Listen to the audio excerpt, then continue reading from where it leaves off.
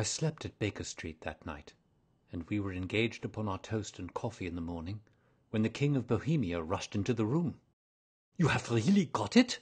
he cried, grasping Sherlock Holmes by either shoulder, and looking eagerly into his face. "Not yet." "But you have hopes?" "I have hopes."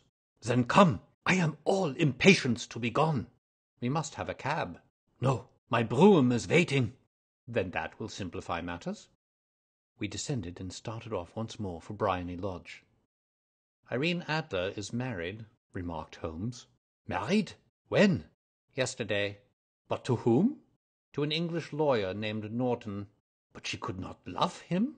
"I am in hopes that she does." "And why in hopes?" "Because it would spare your majesty all fear of future annoyance. If the lady loves her husband, she does not love your majesty. If she does not love your majesty, there is no reason why she should interfere with your majesty's plan." "It is true. And yet well, I wish she had been of my own station. What a queen she would have made!" He relapsed into a moody silence, which was not broken until we drew up in Serpentine Avenue. The door of Briony Lodge was open, and an elderly woman stood upon the steps. She watched us with a sardonic eye as we stepped from the brougham. "Mr. Sherlock Holmes, I believe," said she. "I am Mr. Holmes," answered my companion, looking at her with a questioning and rather startled gaze. "Indeed! My mistress told me that you were likely to call. She left this morning with her husband by the 5.15 train from Charing Cross for the Continent." "What!" Sherlock Holmes staggered back, white with chagrin and surprise. "Do you mean that she has left England?" "Never to return." "And the papers?" asked the king hoarsely. "All is lost!" "We shall see." He pushed past the servant and rushed into the drawing room, followed by the king and myself. The furniture was scattered about in every direction, with dismantled shelves and open drawers, as if the lady had hurriedly ransacked them before her flight. Holmes rushed at the bell pull, tore back a small sliding shutter, and, plunging in his hand, pulled out a photograph and a letter. The photograph was of Irene Adler herself, in evening dress. The letter was superscribed, "To Sherlock Holmes, Esquire, to be left till called for." My friend tore it open, and we all three read it together. It was dated at midnight of the preceding night, and ran in this way: My dear Mr. Sherlock Holmes, You really did it very well. You took me in completely. Until after the alarm of fire I had not a suspicion. But then, when I found how I had betrayed myself, I began to think. I had been warned against you months ago.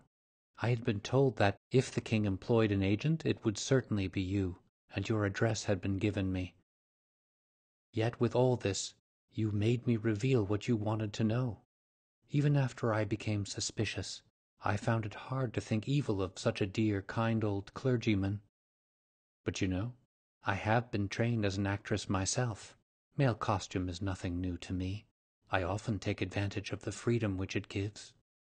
I sent John, the coachman, to watch you, ran upstairs, got into my walking clothes, as I call them, and came down just as you departed. Well, I followed you to your door, and so made sure that I was really an object of interest to the celebrated Mr. Sherlock Holmes. Then I rather imprudently wished you good night, and started for the Temple to see my husband. We both thought the best resource was flight when pursued by so formidable an antagonist. So you will find the nest empty when you call tomorrow. As to the photograph, your client may rest in peace. I love and am loved by a better man than he. The king may do what he will without hindrance from one whom he has cruelly wronged. I keep it only to safeguard myself, and to preserve a weapon which will always secure me from any steps which he might take in the future. I leave a photograph which you might care to possess, and I remain, dear Mr. Sherlock Holmes, very truly yours, Irene Norton, née Adler. "What a woman! Oh, what a woman!" cried the King of Bohemia, when we had all three read this epistle. "Did I not tell you how quick and resolute she was? Would she not have made an admirable queen?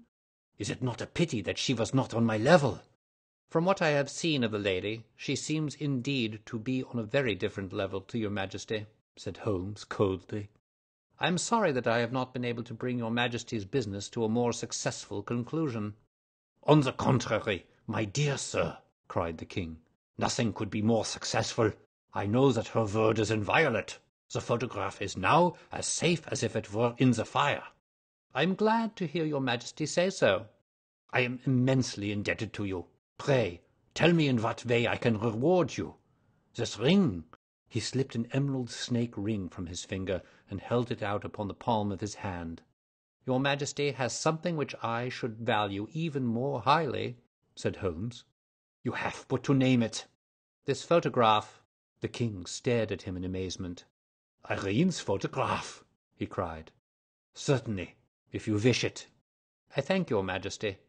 Then there's no more to be done in the matter. I have the honour to wish you a very good morning. He bowed, and turning away without observing the hand which the king had stretched out to him, he set off in my company for his chambers.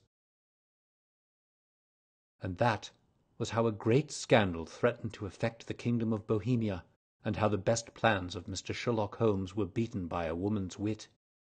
He used to make merry over the cleverness of women, but I have not heard him do it of late and when he speaks of Irene Adler, or when he refers to her photograph, it is always under the honourable title of the woman.